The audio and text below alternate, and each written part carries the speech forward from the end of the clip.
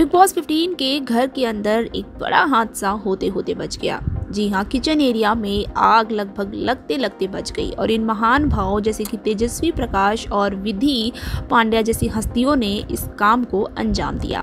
दरअसल विधि पांड्या तड़का लगाने जा रही थी और तड़के में अचानक से आग पकड़ लेती है और इन महान लोगों ने उस तड़के वाली जो कढ़ाई थी छोटी सी, उसको ढकने के बजाय सिंक में वो डाल देती हैं और उस सिंक में डालने के बाद आप देख ही सकते हैं क्या माहौल हो गया था। आग की लपटें कितना ज़्यादा ऊपर तक पहुँच चुकी थी।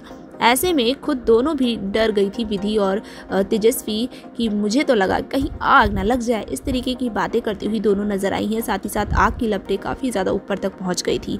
ये लोग एक से बढ़कर एक है। भाई इन्हें किचन का पता नहीं किसने काम सौंप दिया है और वो लोग किचन में इस तरीके के गुल खिलाते हुए नज़र आ रहे हैं। फ़िलहाल क्या कहना है आपका तेजस्वी और विधि की इस महान हरकत पे कमेंट बॉक्स में अपनी राय ज़रूर भेजना, क्योंकि क्योंकि शायद इनकी ये महान जो उन्होंने कारनामा किया है, उससे बहुत ज़्यादा नुकसान भी हो सकता था। कमेंट में अपनी राय ज़रूर रखें, साथ ही साथ वीडियो लाइक, चैनल सब्सक्राइब। चल बाबा टेक केयर